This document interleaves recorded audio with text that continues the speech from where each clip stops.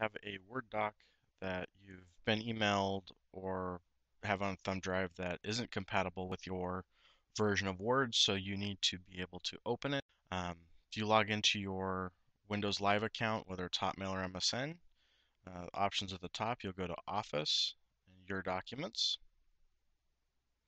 Then, unless you want it to be a public document, uh, you can go to your, under your personal, go My Documents, and then we're going to add file um, up above where it says earlier this year or whatever it happens to say for you showing your documents. There'll be new and then add files. Unless I want to create a new file from scratch, I'm going to choose add file, which will bring up this nice little drop option.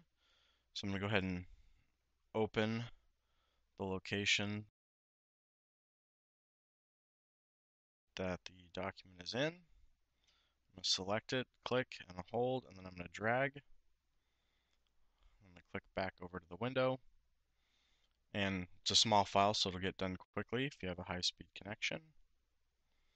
So now I have the one I just uploaded, which is a 2010 Word version. So if I tried to open this on one of my other systems with 2003, it wouldn't work unless I saved it as a backward compatible file. Um, usually the case is someone else has sent you a file and you it takes more time to try to get them to learn how to save it. Um, unless you tell them about this website and they learn to do so. So we don't want to open a Word because that's our problem. We want to edit in browser.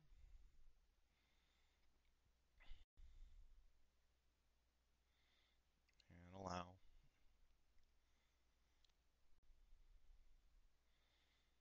So once this pulls up,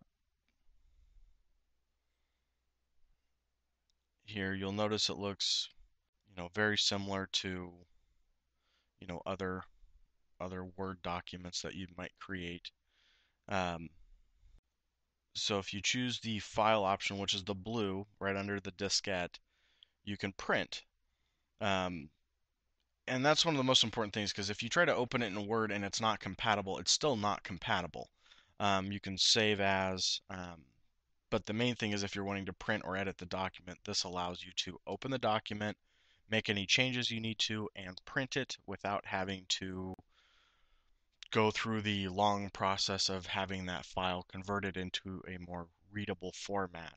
Um, so hopefully this, if anything's been unclear, please contact us. We want tutorials to be as helpful as possible, whether we need to do an additional tutorial or regenerate any tutorial, please contact us. Uh, hopefully this has helped. Thanks. Bye-bye.